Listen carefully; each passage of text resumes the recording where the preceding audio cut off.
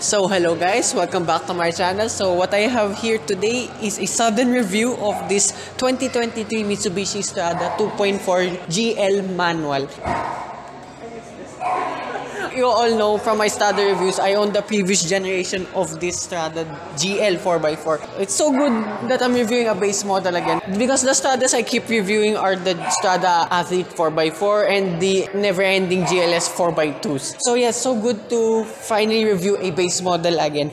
And I never knew this about the base model actually. So I thought it was the cargo version that only gets this plastic cladding up. Yeah, it's, it's a little bit weird, but I understand why it was put together like this in the first place because it's the base model. It's supposed to be your daily workhorse aka your Harabas. All the specs here, ground clearance and everything, as well the payload capacity, put it all there, it's exactly the same throughout. As well on the side profile, there's no side step, surprisingly, and you get steel wheels. I don't mind owning the steel wheels, it still looks good.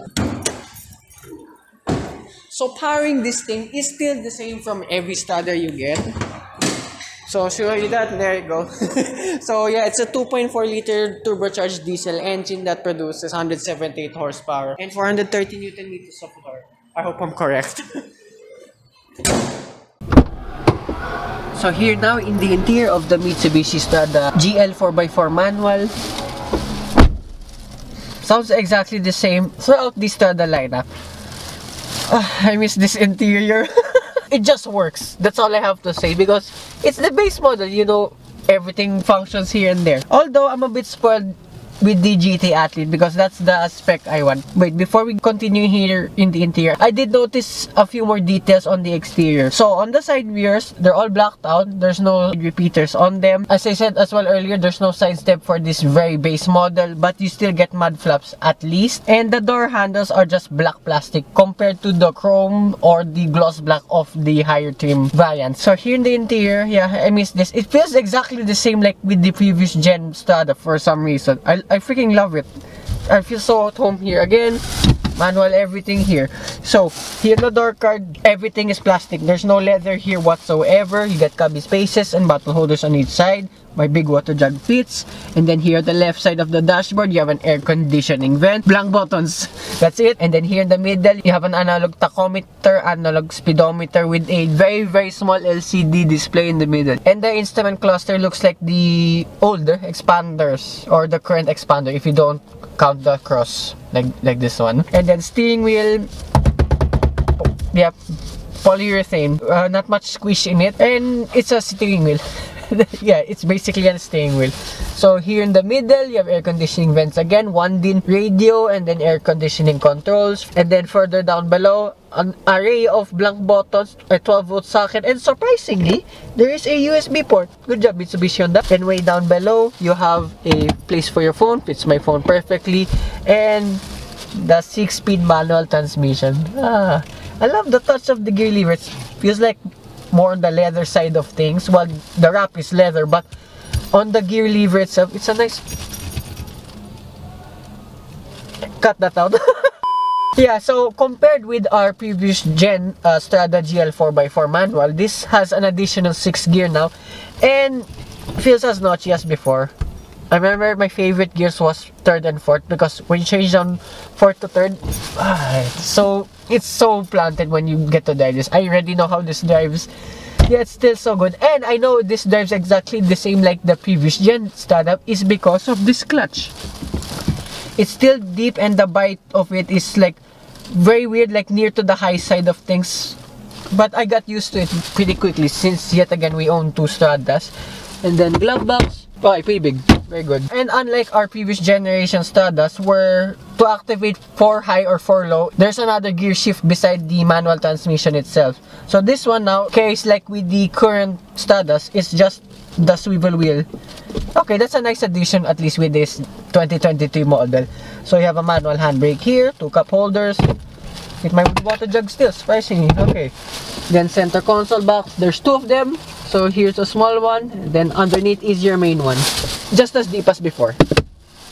And then up above, there's nothing. And then sun visor, ticket clip holder, pretty much it. Also an extend, like all Stradas. Alright, that's fine. Another thing I noticed compared with the previous gen, there's no more rear view mirror stock. So it looks frameless now. Alright, good touch on that too. Yeah, also going back to the seats, it doesn't look like the Doesn't look like the one that of the GLS variants. To be honest, looks a little bit better. And correct me if I'm wrong, I've seen these seats before on an LT100, so feels exactly the same as that. Yeah, so that's about it here in front of this the GL 4x4 manual. Let's go to the rear. So this fabric seat seems so way way softer than that of the GLS, surprisingly, especially this middle cushion for the seat. So if I sit here, feet room, knee room, and headroom is exactly the same throughout the lineup. But I'm stunned with this middle seat. I'd rather sit here in the middle if I was here in the rear, to be honest. It's so very, very soft. And here in the middle, it's blank, but at least you still have two map pockets on each side. And the door cards, again, it's all plastic, but you still have cup holders, still fits my big water jug. And my big surprise with this GL 4x4 manual, I forgot all about the light, is this, that you still have a central armrest. That I don't remember in our Strada GL 4x4 because I was mostly here at front. Sadly, my big water jug doesn't fit here anymore. But like our previous generation Strada, pull this latch up and you can still hide your Christmas gifts here in the back.